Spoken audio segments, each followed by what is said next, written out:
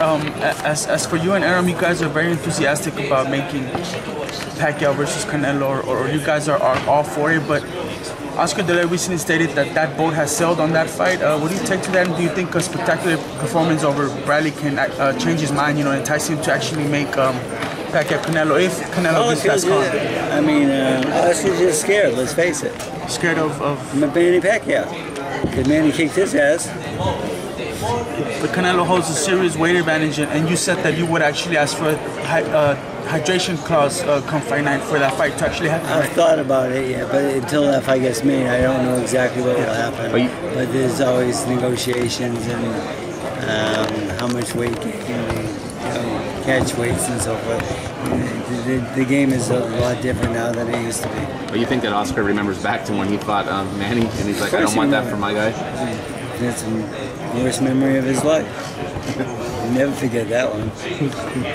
Going back to that fight, and then looking when when you guys were a five to one underdog, I think I remember because you bet on the fight, and then now getting towards the end of the fight, wh- where do you see just in those last uh, what have been about six seven years of uh, Manny's career?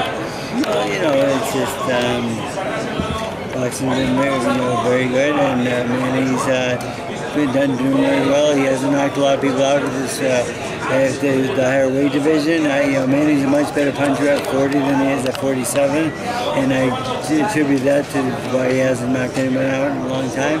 It's not that he's uh, not hitting hard or anything. He's just he's just not that big a person. You know, the thing is, Manny's actually a better 140 pounder out there, and uh, you know if he does. If he does fight again, I, I do hope that it's at 140 and not 47. But guys like Margarito and Algieri, those fights you could argue should have been stopped maybe anyways. Possibly, I think you're, I think you're right, but um, you know, that's the way it goes. Uh, Freddie, and you mentioned that Manny can still make 135, correct? maybe he can still make 135, but uh, he walks around at like 138. He's no problem. Do you think if he does decide to continue after this fight and maybe a move down in weight can prolong his career a couple of more years? I do, yes, and I think there's some good fights at 40. You know, with Terrence Crawford and those type of guys. Uh, that's uh, I think that might be the biggest fight out there at 140.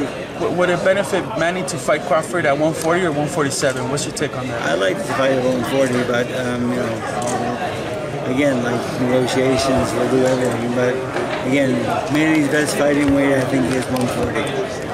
So there you have it. Another great video for ES News. For ESNewsReporting.com, I'm Elie Seckbach reporting, and you can follow me on Twitter at Seckbach.